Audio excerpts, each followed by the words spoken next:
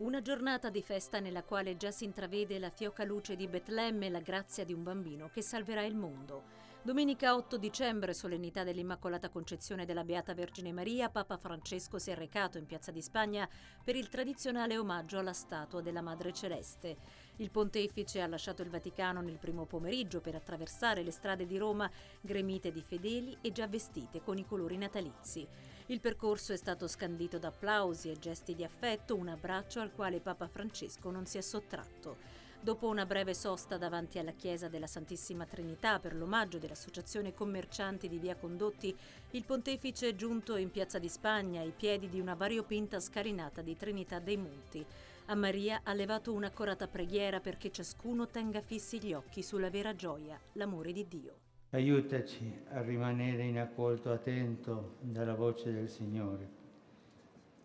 Il grido dei poveri non ci lasci mai indifferenti. La ferenza del Mailati e di chi è nel bisogno non ci trovi distratti.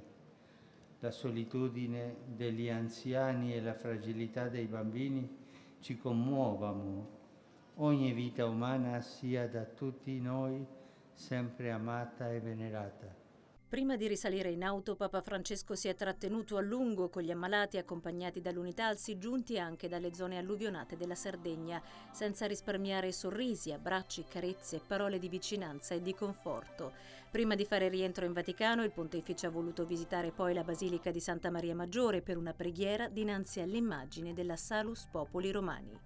Anche la mattina Maria era stata protagonista tra le parole di Papa Francesco, che all'Angelus ha rimarcato quanto sia bello avere una madre piena di grazia, una donna che ci sostiene nel nostro cammino verso il Natale perché ci insegna come vivere nell'attesa del Signore, che viene per tutti e per ciascuno.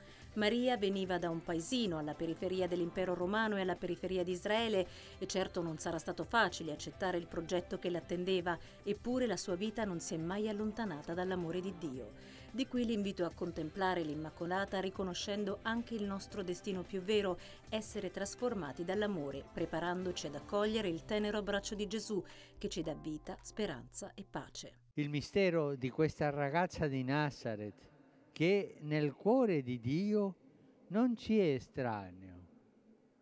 Non è lei là e noi qui. No, no, siamo collegati. Infatti, Dio possa il suo sguardo d'amore su ogni uomo e ogni donna, con nome e cognome. Il suo sguardo d'amore è su ognuno di noi.